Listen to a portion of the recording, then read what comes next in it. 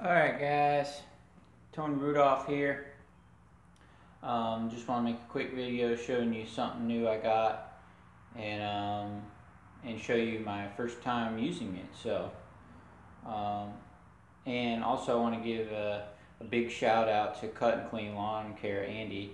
Um, I don't really know him that great or anything, but uh, I seen him using one of these on his video and I'm like, man, you know, why have I been doing for years? I just been doing it with a regular half inch um, ratchet for my whole life. I've always done lawn care. I've never done anything besides lawn care. So anyway, let me show you all this. Um, I got a Ridgid uh, 18 volt lithium with the drill and the impact driver and um, I seen Cut and Clean Lawn Care using that on his mower blades on a video, and um, he he wasn't um, it wasn't even the main point of his video. I just seen it in there like, man, that's a fabulous idea, because I didn't really want to get like a an air one and do all that hoses and stuff, um, because it, it doesn't, especially mine. I've never had a problem with them not being tight enough, even with the ratchet, with the long ratchet. I mean, you can wrench you know, you get a board, prop it under there, you can get it tight and also you can get it off, but I figure, hey, I might, I don't want to do that. So I'm gonna buy one of these, 160 bucks.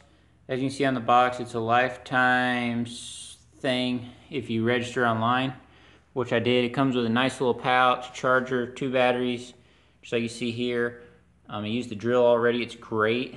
Um, so anyway, my first time ever trying it, I'm I've never tried it. Like I just opened it and I've never done it. So let's see how it works because you're going to see the first time just like me.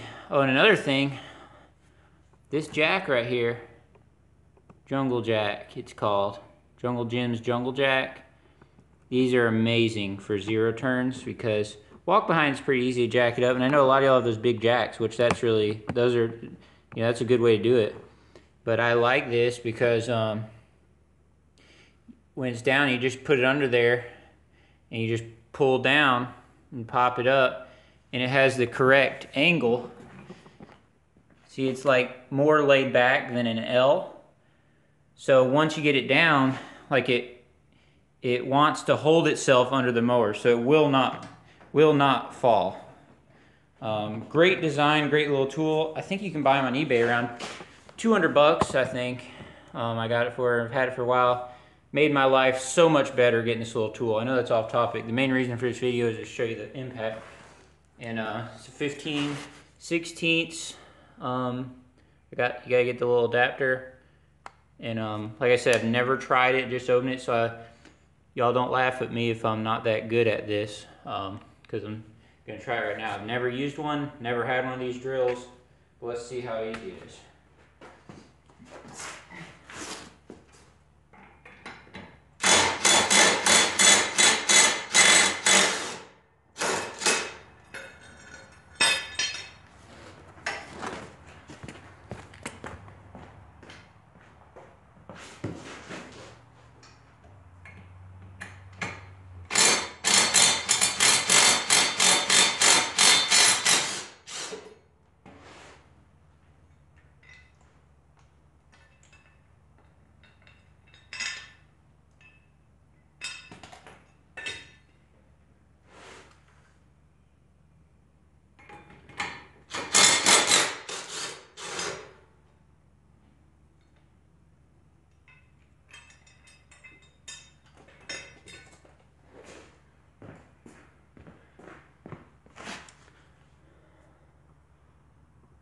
I tell you all this, I'm sold. I'm sold on that.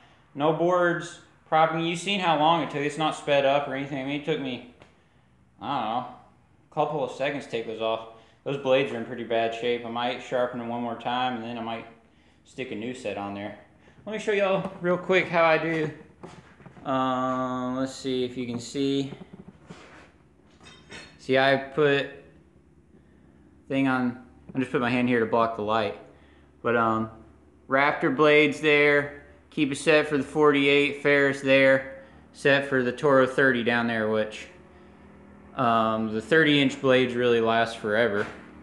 So it's not even mandatory really to have them handy, but um, but I do. And um, anyway, so that's how I do that. You just put one, let me show you all better view. One screw right in the hole of the blades, like where you put it on the mower, and then two there to help stabilize it from wiggling. And I just store my blades there. Have one set ready for each mower, and you can either sharpen the ones you had or switch them out, or put those on the mower, sharpen the set, and put them on right here so they're ready.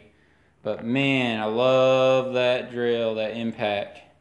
That's gonna make my life so much better for sharpening. As you can see, those blades are in pretty rough shape.